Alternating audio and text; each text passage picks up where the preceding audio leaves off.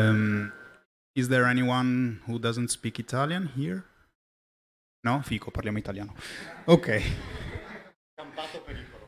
Ok. No, perché avevamo detto che l'avremmo potuta fare anche in inglese. Mi sento sollevato. Allora, buonasera. Oggi siamo qui per parlarvi di indie web e in generale cercare di trovare un'alternativa ai social network centralizzati. Non stiamo parlando di protocolli distribuiti per la cronaca, stiamo parlando di puro e semplice eh, HTTP e compagnia bella così come esiste adesso. Eh, io sono Klez, in questa bellissima foto sarei anche elegante come mi vedete adesso no, però ehm, vabbè, sono, di, di base sono uno sviluppatore, principalmente sviluppatore web. Eh, faccio parte, del, cioè sono cofondatore del Mestra Club, eh, mi occupo di privacy, diritti digitali e quant'altro, sia io che il resto della club tendenzialmente. Eh, ci tengo molto al free software, eh, abbiamo un podcast su una, radio, su una, web radio qui di Padova che, eh, dove ci occupiamo di questi temi. Sono anche una persona che adora il web e odia il web, nel senso che da un certo punto di vista ci sono un sacco di cose eh, stupende, nel, nel web e ci sono anche un sacco di cose che non ci piacciono e in parte le vedremo oggi. E poi c'è Righez, ovvero io. E come vedete la foto è fatta in emergenza, così, tanto per, non è seria come quella del compagno Klez. Penso di essere un eh, software developer, ma chissà, sinceramente, a lavoro qualche cappella la faccio ancora. Sono un membro anziano del Mestra Club dal lontano 2012. Sono un supporter per la privacy digitale, faccio attivismo con il buon Klez eh, qui a fianco. E, ehm, sì, diciamo, quando posso supporto il free software, non sono nazi come Klez che è veramente... Um, ha i i paraocchi. Ogni tanto anch'io qualcosa di proprietario, purtroppo. Eh, contribuisco al podcast che facciamo insieme a Klez e qualche altro anonimo, così amiamo definirci durante questi podcast che non diciamo i nostri nomi. E, ehm, sì, diciamo che la passione più che altro per la sicurezza informatica, anche se sviluppo. E, ho messo che non sono quasi non rintracciabile nel web perché mh, non mi piace farmi vedere come il buon Klez, infatti mh, ho Facebook effettivamente ma non lo uso da tot anni, è lì fermo, imbalsamato, diciamo. Purtroppo eh, vorrei non averlo, anche perché parliamo di cose anti-Facebook oggi, ma mi serve per qualche persona che purtroppo sento solo lì. Per cui scusate il conflitto di interessi. Sono un gamer, vabbè, eh, software proprietario purtroppo. Mi piacciono le sigarette elettroniche e sono odiato da Klez durante i podcast perché riesco sempre a beccare fake news, purtroppo per esempio stiamo parlando di Cina e lui becca notizie da Radio Free Asia che è una cosa sponsorizzata dalla CIA ma non importa comunque come, come siamo messi al momento? siamo messi che la situazione qualcuno che cerca di comunicare è questa ovvero 3 miliardi di, di, protocolli, 3 miliardi di applicazioni, eh, ognuno usa applicazioni diverse che non comunicano le une con le altre eh, mi sono accorto adesso, non l'avevo visto prima, che c'era Apache Request Log lì come forma di comunicazione. E, ehm, e vabbè, e quindi la, la, la, situazione oggigiorno è questa. Eh, tutte queste piattaforme tra loro non comunicano, nonostante eh, una volta qualcosina ci, ci, si riuscì, qualcosina ci si riuscisse, tipo Gtalk e Facebook entrambi supportavano, supportavano XAMPP come protocollo ed erano quindi accessibili da altri server. Eh, un altro segno dei tempi sono tutti i vari casini che ci sono stati quest'anno con Cambridge Analytica, nel senso tutte le cose che sono state scoperte rispetto al fatto che eh, qualcuno abbia minato i social network in cerca di opinioni politiche, reti di amicizie e quant'altro per, ehm, per avere un vantaggio durante le elezioni, quantomeno durante la campagna elettorale soprattutto negli Stati Uniti e eh, nel sondaggio per la Brexit.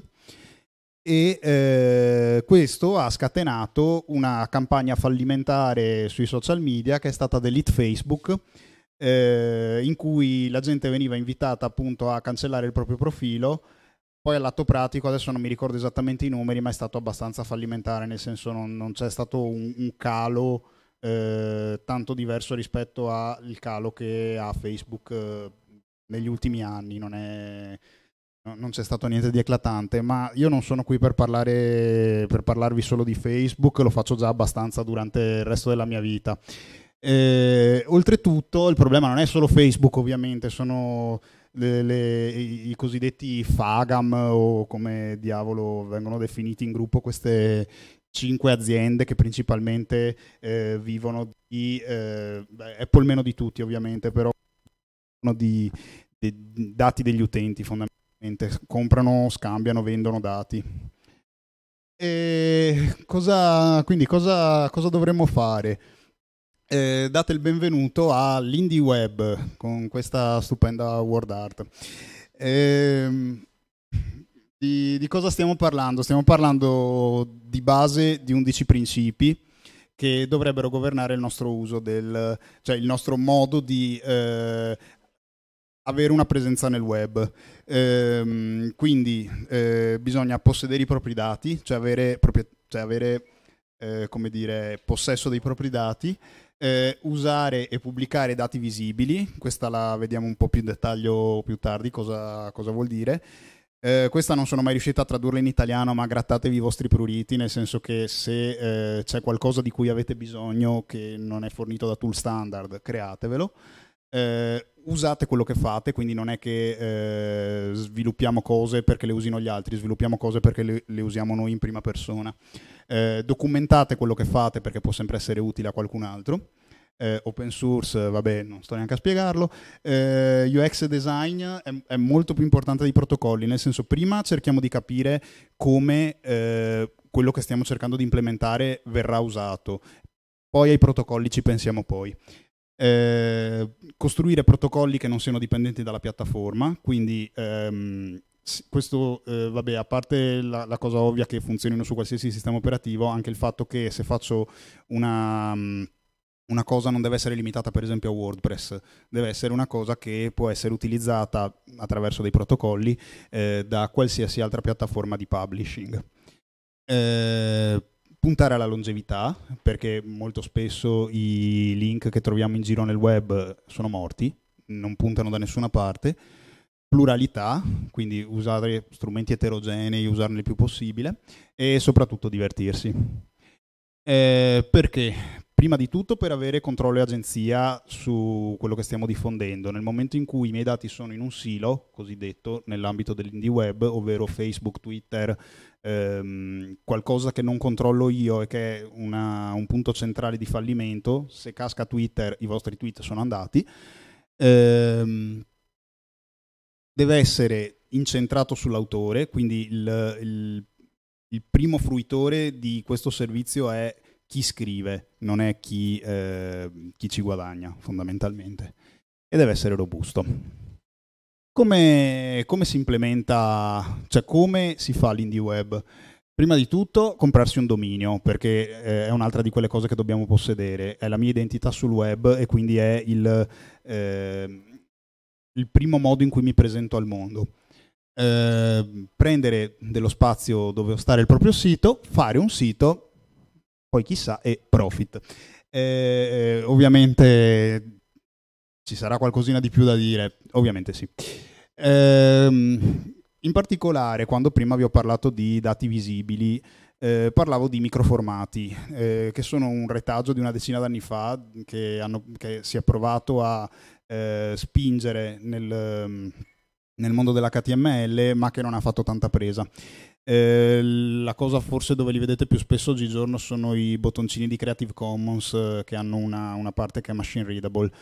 Ehm, in questo caso questa è una V-card, ovvero è il, il, mio biglietto da visita, è quello che definisce chi sono io, in, cioè la mia identità, il mio profilo, per capirci. Come è fatta? È fatta da appunto eh, un div con questa classe qui, vcard, poi eh, ci sono eh, vabbè, delle note in cui ogni componente del, ehm, della mia presentazione, adesso non si capisce niente, poi ve la faccio vedere renderizzata, in cui ogni componente della, della mia presentazione ha una, una, sua classe, quindi Federico, io, che è given name, eh, nickname Klez, eh, family name Kulloka, vabbè qua c'è il resto della descrizione, qua c'è eh, un'organizzazione che è un link al sito del Mestra Club, perché è l'organizzazione di cui parte, e fondamentalmente basta. Poi c'è la foto, eh, segnata appunto come ufoto con quella classe lì e il risultato di tutto questo è questo, è semplicemente HTML, non c'è niente di particolarmente, ehm, di particolarmente nuovo rispetto a come questa cosa verrà presentata, però la cosa interessante è che quella cosa è machine readable, quindi c'è un sito a cui voi date in pasto la pagina dove si trova il vostro profilo e che estrae tutte le parti della presentazione, quindi Federico Klezkulloka come nome, la mia foto, il mio URL, qua mi sta suggerendo di aggiungere la mail ma col pifero che ce la aggiungo e qui c'è eh, il, il testo della mia presentazione, la nota vera e propria. Quindi appunto eh, un modo perché un programma esterno, che ne so, il blog di qualcun altro che ha bisogno di fare riferimento al mio profilo perché ho commentato il suo blog, eh, può recuperarsi la mia identità prendere nome, cognome, nick, foto e link e schiaffarlo nella sua sezione commenti, poi vedremo come.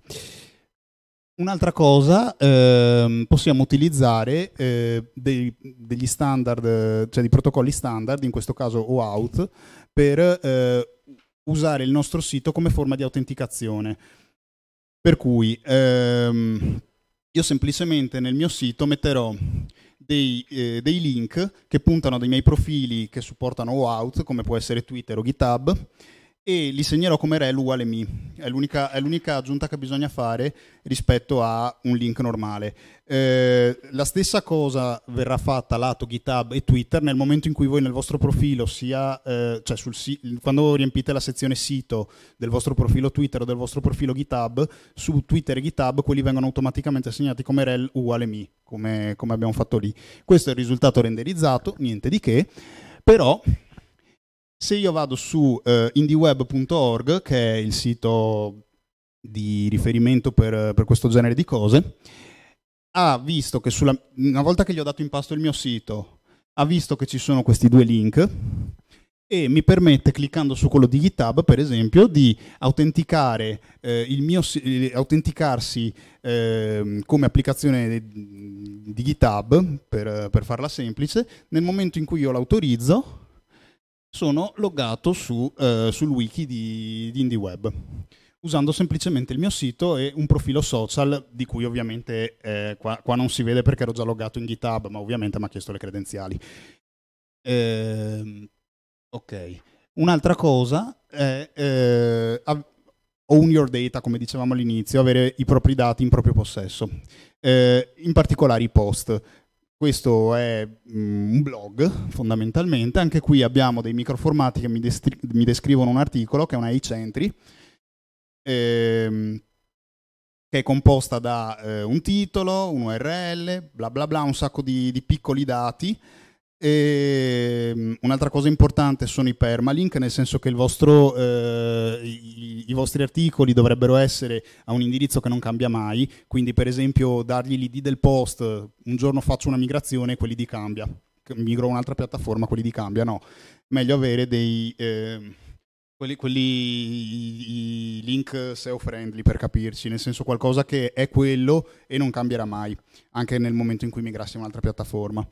E poi vabbè, tra le altre cose ci sono i, ehm, la data di pubblicazione, eh, da qualche parte dovrebbe esserci anche il fatto che io sia l'autore, forse qua non si vede, vabbè non importa, poi c'è il contenuto.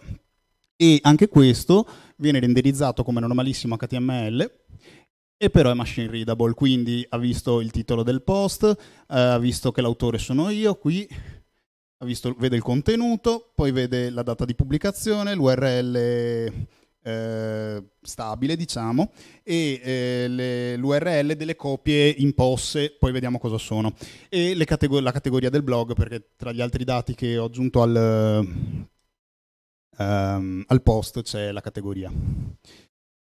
E che tipi di articoli si possono pubblicare, cioè di post si possono pubblicare? Qualsiasi cosa, articoli, foto, micropost, quindi eh, possiamo avere il nostro Twitter personale senza dover postare su Twitter, ehm, recensioni, quindi perché postare una recensione solo su Amazon, su Goodreads o quel cazzo che è, nel momento in cui le recensioni posso avercele direttamente sul mio sito. Commenti, risposte ad altri post, poi vedremo come eh, ripost, quindi mi è piaciuto un articolo, lo ribloggo, ritwitto, come lo volete definire, eh, video, eventi, eh, risposte a eventi, cioè parteciperò, non parteciperò, qualsiasi cosa, nel momento in cui ci sono un tot di protocolli che oggi non vediamo per, per questioni di tempo, però ci sono un sacco di protocolli per gestire eventi, eh, riposte, eccetera. E e quindi tutto molto bello, ma qua stiamo semplicemente parlando di un blog, quando è che tutto questo diventa social? Eh, il modo più semplice è POSSE, quello che vi stavo dicendo prima, Publish on your own site, Syndicate elsewhere, quindi io pubblico sul mio blog, dopodiché del software sul mio blog o io manualmente prendo e faccio una copia di quello che ho postato sui vari siti, eh, sui vari silo, quindi social network, Twitter, Facebook, eh, Instagram, quello che è. Eh, la maniera più corretta di farlo invece dal punto di vista di IndieWeb sono le cosiddette web mention. Questo è un protocollo del, eh, raccomandato dal V3C e eh, si compone di questi quattro semplici passi che adesso eh, Righez andrà a descrivervi. Allora, semplici diciamo a occhio inesperto, secondo me, perché mi sono andato a vedere tutta la specifica e in realtà non è tutto qui, ok? Questa è la base, nel senso che voi avete il vostro sito, ovviamente magari non lo fate da zero il sistema per fare le web mention, ma vi, mh, mm, vi diciamo, appoggiate a un sistema esterno che le fa per voi. Eh, dopo vediamo quali, ce ne sono alcuni il, diciamo, il protocollo che è basato su HTTP cosa fa? Quando voi create un eh, post di qualsiasi genere e state magari, ehm, come dire, ehm, vi state riferi- riferendo a un altro post, state commentando in qualche modo il post di qualcun altro, inserite il link a quel post. A quel punto pubblicate l'articolo e il sistema in automatico, si spera, dovrebbe andare, diciamo, a scoprire, punto 2, l'endpoint, ovvero la, mm, tipo una, come se fosse una pagina di landing per accettare le web mention del, diciamo, post al cui voi vi siete riferiti. A quel punto il sistema automatico dovrebbe accettare quella web mention, notifica il vostro sistema automatico, punto 3, del fatto che è stata accettata la menzione, diciamo che voi, la citazione,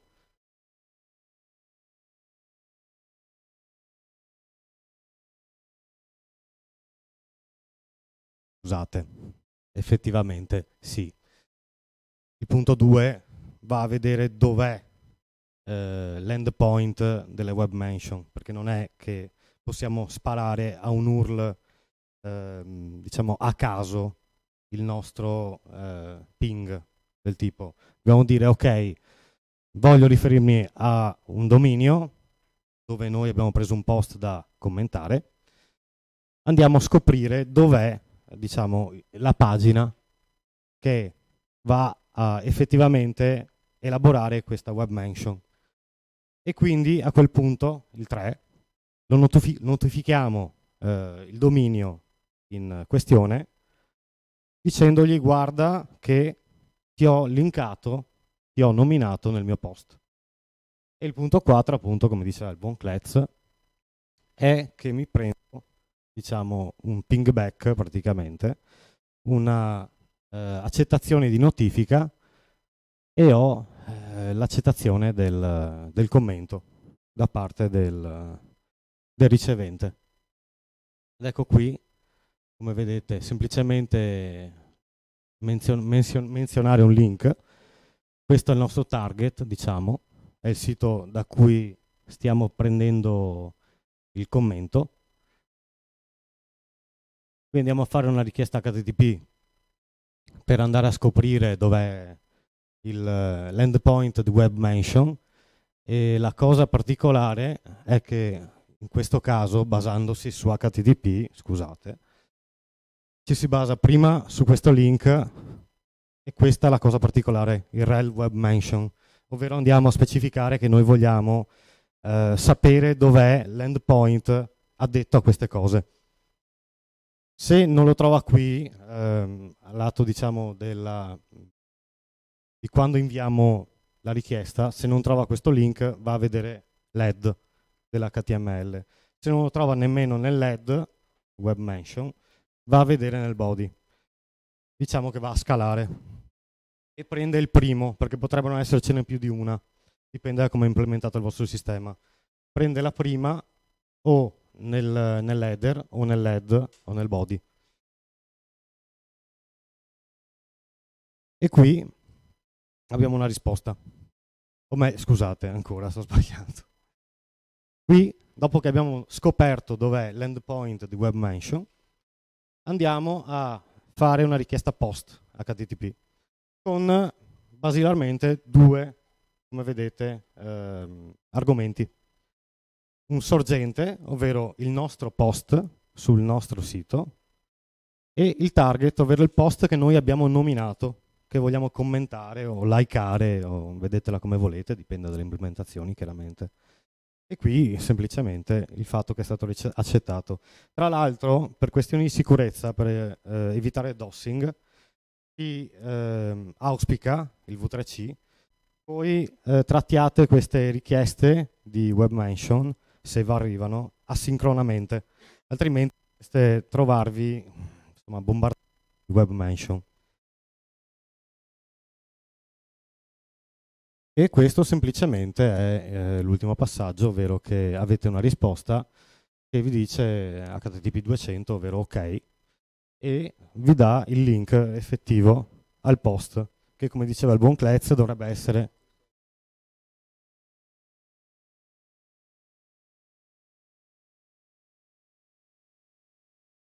Scusate, effettivamente. Non ho fatto bene i compiti per casa, a quanto pare contiene effettivamente un link al post del target, ovvero a chi vogliamo menzionare, ma perché? Perché dobbiamo essere sicuri che esista. Perché potrebbe essere stato spostato, come diceva il buon Klez, perché l'URL dovrebbe essere non dinamico, ma statico, ovvero che non cambia mai. Per questioni di verificare che effettivamente chi mi sta menzionando mi abbia effettivamente menzionato. Eh, semplicemente che la parte in questione sia effettivamente.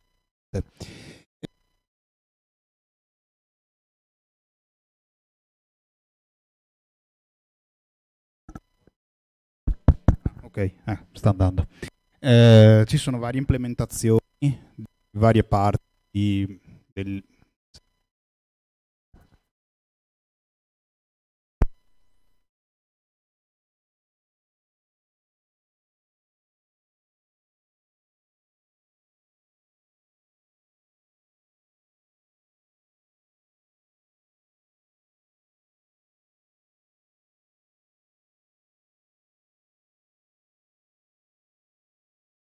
Prova, prova, prova, ok.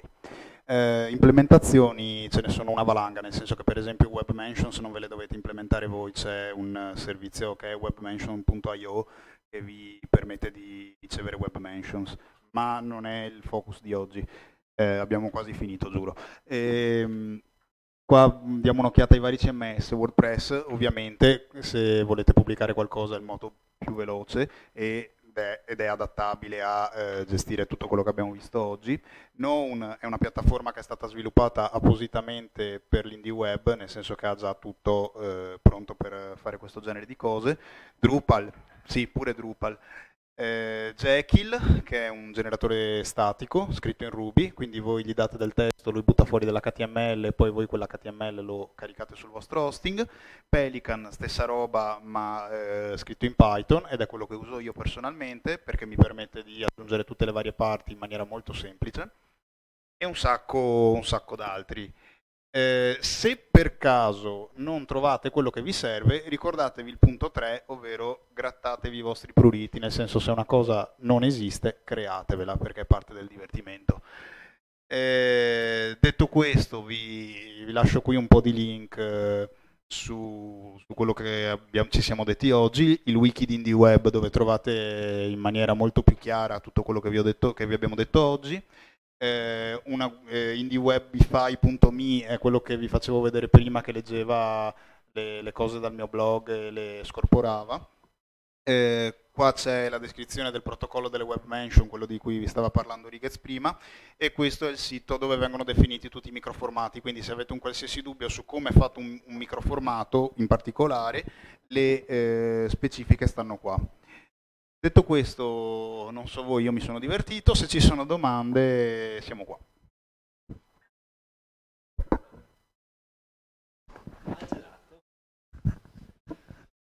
Ci sono, visto che Facebook ci si sta gelentrificando, se non, se non sia già gelentrificato, perché ormai tutti quanti penso abbiamo qua la zia che condivide i santini nel 2018 su Facebook. Ci sono delle piattaforme che stanno in questo momento nascendo, crescendo, che hanno un futuro, diciamo, di rilievo? O ci sono delle piattaforme in cui gli adolescenti o i diciottenni d'oggi comunicano? In alternativa, in alternativa, a Facebook dico. Instagram che è sempre di Facebook. Instagram. A quanto pare da, dai vari articoli che leggo poi abbi pazienza le mie fonti sono il New York Times non okay. i log di, di, Instagram ovviamente però nel senso sì sembra che Instagram stia, Instagram e Snapchat stanno, stanno, tirando un sacco a quanto pare se, ah. se qualcuno ha altre notizie da condividere ben contento perché mi sta sulle balle Instagram sì, sì, beh, è una tristezza sta cosa. Pensavo una risposta più... Speravo in una risposta eh, più... no, mi spiace. Ok, grazie, grazie. Formati di sistemi digitalizzati. Eh, tendiamo a non usarli. Poi, Instagram ha di buono che magari i fake news non le possono condividere. Ah, Vabbè, dici. Con le, solo con le immagini Scusate, non conosco Instagram per forza di cose. Qualcun altro?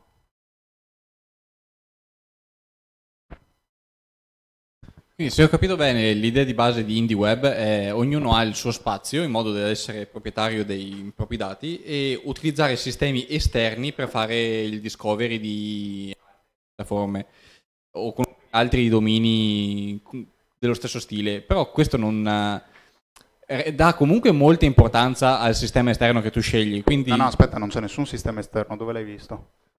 Avevo visto la, la, la, la parte di la diapositiva con cui tu mettevi il tuo post sul tuo dominio e sì. poi eh, lo relinkavi ah, da parte tipo su, okay. una, su, Facebook o Twitter. Esattamente. Ok, no, aspetta, questo è un, è un modo che hai per continuare a usare questo genere di social network pur avendo l'originale sul tuo, sul tuo sito. Questo non è un modo per fare, o meglio, è anche un modo per fare discovery, ma eh, questo è, è, il modo che hai per cominciare, ma non, ma non è il, il, fine. Qua è, so, è, solo un, è, solo una cosa che ti aiuta a eh, mantenere le comunicazioni con chi non vuole usare questi sistemi, se tutti i tuoi, che ne so, hai 10.000 follower su Twitter, metti mai, che fai improvvisamente smetti? Tu semplicemente fai il tuo post, eh, il tuo sistema tu manualmente linkerai ai tuoi post su Twitter, su Facebook, eccetera, e la gente che continuerà a usare quei sistemi potrà comunque accedervi. In realtà tutta la parte di discovery mi sa che si fa come si faceva una volta, quando non c'erano Twitter, Facebook oh. e compagnia. Ok, eh, buon punto. immaginati adesso, non so, che la cosa prenda piede, eh, prenda piede, tra dieci anni nessuno usa Facebook e tutti quanti usano IndieWeb.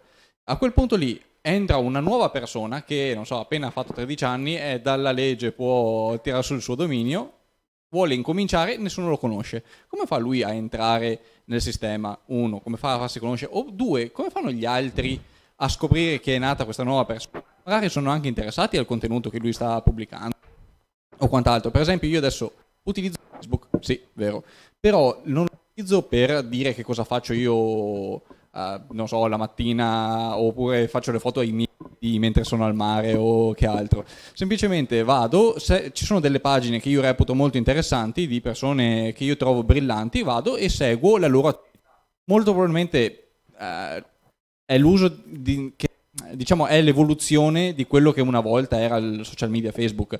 E mi domando come faccio io in una ed è quello che anche mi aspetto da un social come farò io a fare una cosa del genere in un futuro in cui non ci sarà Facebook ma ognuno avrà il proprio eh, dominio e io dovrò andare a fare discovery chiamiamolo così manuale? È un'ottima domanda. Non ho una risposta ma quello che mi viene da pensare un possibile esempio è eh, la gente cioè o meglio, le pagine interessanti su Facebook le trovi perché in qualche modo ehm, qualcuno che conosci le ha condivise, immagino perché è un sacco che non uso Facebook, abbi pazienza. Eh, quindi no, ok, no, eh, ti dico, non ho una risposta, è un'ottima domanda, eh, parliamone, nel senso eh, è una conversazione, cioè questo dell'indie web è, è l'inizio, è una conversazione continua effettivamente sono abbastanza sicuro che se vado a cercare sul wiki c'è una pagina che riguarda la Discovery. Eh, non l'ho ancora trovata, non l'ho ancora cercata perché non mi era neanche passato per, l'anticamera del cervello, però probabilmente c'è, qualcosa. E se non c'è, creiamola. Se ci troviamo qua un quarto d'ora, ne parliamo, facciamo un mini brainstorming e poi lo pubblichiamo. Non è un problema. Eh, credo che abbiamo finito il tempo, quindi mi sa che... Cosa c'è? Giusto per integrare, eh, rispondendo alla tua domanda, effettivamente una risposta in questo momento non c'è, però ehm, ho guardato anche l'estensione del protocollo. Ce n'è una che si chiama Vouch ed è fatta apposta per creare delle reti di trust. Quindi diciamo che si potrebbe creare una cosa modificando Vouch, per dire. Perché se tu, eh, questo è fatto per anti-spam, ok? Non è la stessa cosa, però secondo me è un buon punto di partenza, diciamo. Poi, come diceva Kletz, non abbiamo trovato altro a questo riguardo, purtroppo. Eh, tieni conto che la specifica è stata aggiornata l'ultima volta nel 2017, quindi la cosa è ancora in movimento. Per quanto sia stabile, per carità, non stiamo parlando di sperimentale, ci sono delle implementazioni già funzionanti. E basta, io ho finito.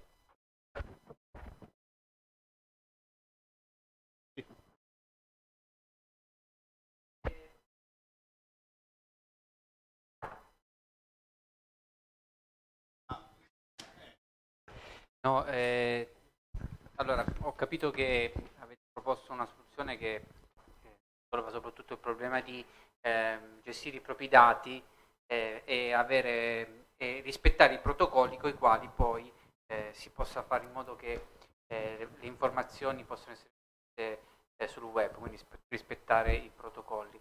Ehm, credo che mh, la domanda in evasa rimane lo spreading di queste cose qui eh, segnalo una cosa che è stata cercata di fare, che questo social network alternativo si chiama Mastodon, eh, che cerca di ragionare sul fatto che ehm, alla fine si è sempre prigionieri del fatto che bisogna tenere, come, come hai detto tu, io cosa faccio? Tengo il mio profilo su Facebook perché devo avere contatti con qualcuno che se no altrimenti in altro modo non riesco ad avere. E questo è alla fine l'aggancio eh, finale che fa in modo che gli altri rimangano lì. Segnalo inoltre che eh, questa cosa agli altri risolve anche un problema da poco. Eh, è un sistema di eh, pubblicazione di contenuti anche in maniera complessa, senza preoccuparsi troppo di come funziona tutto il meccanismo dietro. Perché tu prendi una, una foto, la pubblichi, tu prendi un testo, la pubblichi, non gliene frega niente poi sostanzialmente. E fin quando si è ostaggi di questa cosa qua diventa un problema liberarsi di questo sistema eh, con chi eh, vorremmo tenere i contatti, non avremo altro modo di tenerli se non con un profilo di Facebook. Eh, molto in breve, um, Mastodon è un, uh, un, buon esempio perché uh, utilizza un protocollo che si chiama ActivityPub, che è stato recentemente uh, ratificato dal V3C. E, um, è una cosa buona per il semplice fatto che qualsiasi cosa abbia la funzionalità, abbia, parli il protocollo di ActivityPub, quindi non solo Mastodon, ma per esempio anche PeerTube, che è un, un sistema decentralizzato di condivisione video, può eh, comunicare con tutti gli altri sistemi che parlano ActivityPub. Quindi nulla vieta, in questo caso, che il mio blog parli ActivityPub, per cui quando pubblico qualcosa tutti i miei follower eh, su Mastodon, why not, lo possano vedere senza che io passi per Mastodon. Proprio direttamente tramite il protocollo ActivityPub uno può seguire at per dire e senza che io abbia un su, un uh, profilo su Mastodon e tutto quello che il mio blog pubblica, se parla ActivityPub, lo vedono. Eh, questo vuol dire che è anche possibile sviluppare applicazioni centralizzate o che Facebook si metta a parlare ActivityPub, non succederà mai, ma è una cosa che è possibile, e che tutti quelli che fanno parte della federazione di ActivityPub possano vedere anche da eh, sistemi centralizzati o semplici dove carichi la foto ed è su. Cioè, immaginati o un Facebook che parlino ActivityPub. Chiunque è nella federazione vede questi post, può essere fatto con un programma molto semplice o può essere fatto da me manualmente col mio blog e funziona uguale perché parliamo lo stesso protocollo. Quindi questo esula dal eh, discorso di indie web, però ehm, è uno degli altri modi per eh, scappare alle piattaforme, permettendo comunque a chi vuole farsi le cose semplici di utilizzare cose semplici. Non so se ho risposto. Ok. Eh, ringrazio tutti della partecipazione.